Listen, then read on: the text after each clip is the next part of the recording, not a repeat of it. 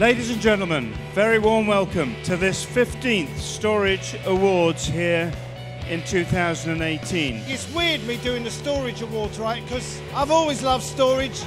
Cloud Company of the Year. Goes to Cloudian.